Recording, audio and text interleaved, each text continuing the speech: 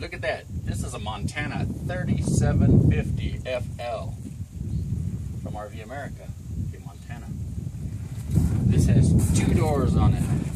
This is what it looks like with the steps in. In case you ever have a deck or something out here, a landing, a ramp, whatever you need, we seal it off. There's Velcro the whole way. Velcro the whole way there. But you don't need it like that, your steps work like normal. It's the same set of steps. We go under stuff here, we put binding on it. Or we cut it out here, we leave the material down, sew it real nice, put binding on that edge, make that edge look really nice for you. I don't know who makes the best skirting around the United States, but I'm really hoping that we do. So, this is all one piece over to here.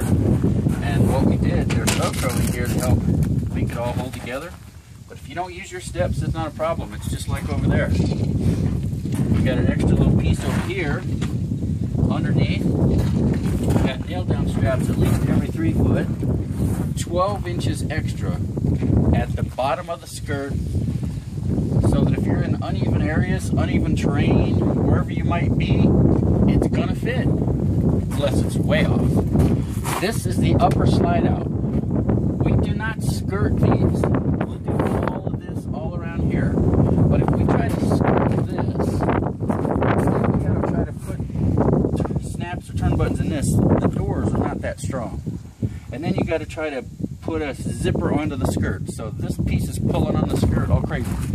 We don't do these like this. Coming over here, we have to put a zipper on here. So not only is the wind pushing this way, this wind pushing this way, we've done a few of them. They are major problems. We don't do them. We do, however, make a zipper at the corner, entrance, like a little door, fold it back a little bit, or as you've seen, you can have a four-wheeler underneath and come blazing on out of there.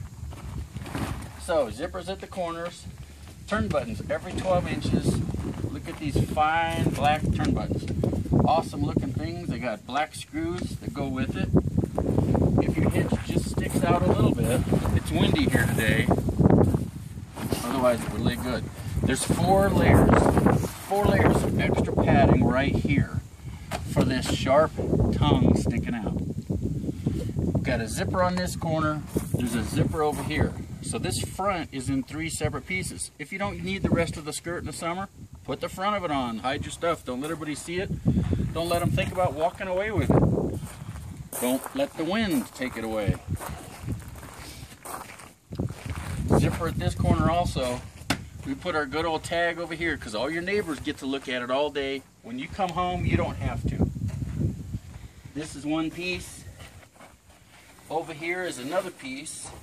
You've got a zipper here, a double-headed zipper for your water to come out. Bring that water hose right out through here. Nice big zipper for the water. Hook it all up. Zipper here. Come about seven inches over here, so when you nail it down, you're pulling on those turn buttons. The reason being, we put snaps here so that the snaps can slide in and out without hitting anything. We don't put turn buttons there, we put snaps. We've wrapped Velcro around the corner. There's a pad under here, 18 inch pad from here to here for that sharp edge. It's not really sharp, but we put a pad there for it. So a pad there, a pad there. Every corner of every slide out has a pad. If you have a jack that sticks way out or something, we'll put a pad there too, or a hitch in the back. We'll put a pad for that. We go around your heaters and your water and stuff. There's a zipper here, about seven inches over, connecting this one to this. So here's another piece. Now on this 3750 FL Montana 2014 series, here is your drop down door to get to your valves. Got the valves in there, you can pull and push on them all you want. Whoa, there's an animal, wild animal, you know, whatever, who knows. Whatever you want, you can put your kitty cat in there, swing around.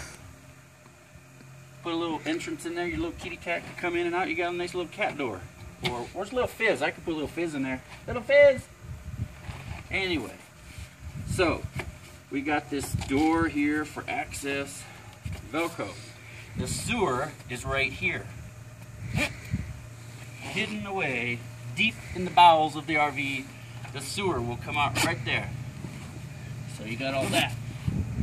This piece ends here. Then we have your other slide out, comes around. We're going under the trim on this. It makes it look really nice, really clean. Black turn buttons, extra stuff at the corners. We even have black snap heads. Make them all look nice.